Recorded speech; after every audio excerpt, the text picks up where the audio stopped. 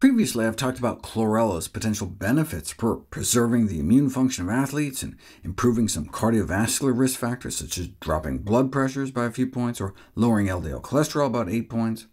Remember that uh, green eggs and ham study, where taking chlorella with eggs appeared to blunt the rise in cholesterol?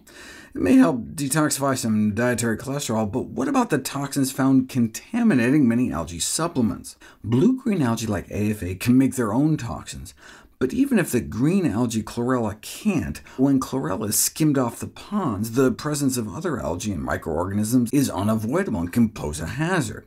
When you actually look at commercial algae supplements under a microscope, the provided labels are usually inaccurate, as factual contents usually do not match.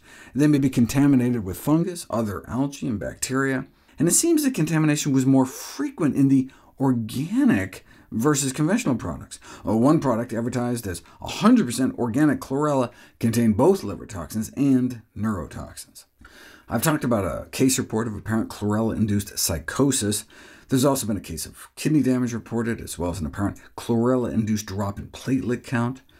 Some reactions are hard to miss, like a whole-body rash, or nausea, headache, dizziness, fatigue, abdominal pain, and general weakness that rapidly resolved after stopping.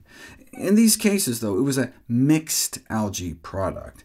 Even without contamination, if you cultivate pure chlorella, it can still significantly induce DNA damage in human cells. Mm, yeah, but those are all cells in a petri dish. Yes, but they were colon-lining cells, so cells presumably exposed directly to chlorella when you eat it.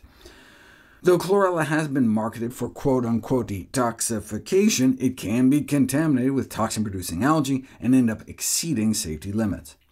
For more irony, chlorella can sometimes be contaminated in a good way.